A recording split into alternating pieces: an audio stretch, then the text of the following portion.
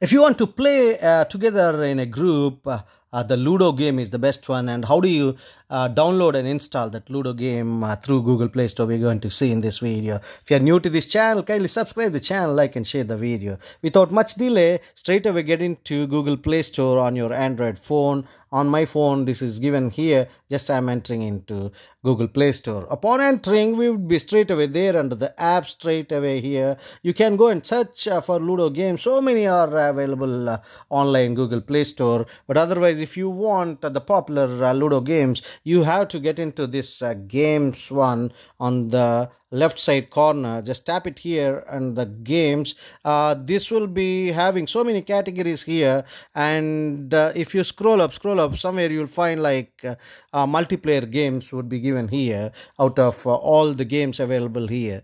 And uh, out of multiplayer games again under this ludo club fun dice game rush is the one thing or any other ludo game you can go and just tap it here. Upon tapping this will ask you to install just go and uh, install it. Uh, upon uh, based on your uh, internet speed this will be starting to install on your device. This is actually taking 101 mb uh, based on the internet speed this would be uh, downloaded in a couple of seconds or even a couple of minutes. I'll be showing it to you once it is downloaded.